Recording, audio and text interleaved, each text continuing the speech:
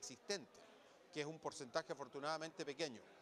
Pero en aquellos que son sanos del punto de vista cardiovascular, no representa un riesgo mayor. Más que la alta exigencia, el estrés con que se vive, esa alta exigencia. No, es, eh, ellos se preparan físicamente para esa alta exigencia. Lo que pasa es que esa alta exigencia lleva un estrés asociado y que a veces no nos da tiempo recuperar lo suficiente para volver a aceptar otra carga. Por eso en varios...